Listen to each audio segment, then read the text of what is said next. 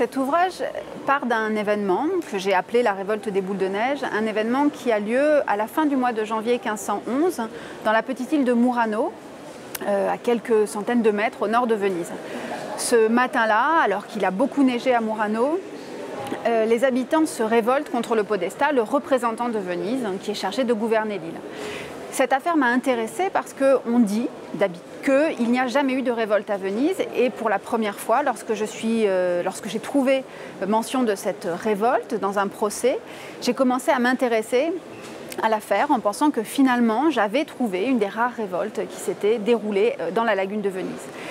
Ce livre est donc une enquête. Je pars à la, découverte de l'île de Murano et je pars euh, à, la recherche des habitants qui ont euh, fomenté cette révolte. Et mon idée, c'est de reconstituer non seulement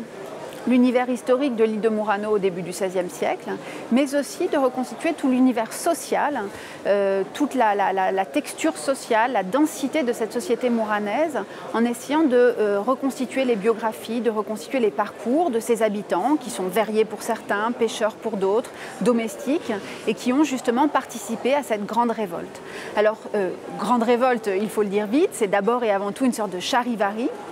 et ce qui m'intéresse, c'est d'essayer de comprendre d'abord pourquoi elle a eu lieu, donc quels étaient les griefs euh, qui étaient reprochés à ce podesta, Vital et Vituri, et puis surtout de comprendre qu'est-ce qui animait les habitants de Murano. Donc au-delà de la révolte des boules de neige, qu'est-ce qui finalement euh, constituait leur culture politique, leur raison d'agir, leur motivation, et au-delà, au moment du procès qui a lieu après la révolte, comment ces habitants étaient capables de se défendre de se justifier, de euh, porter des arguments justement pour justifier leurs actes, légitimer leur façon d'agir.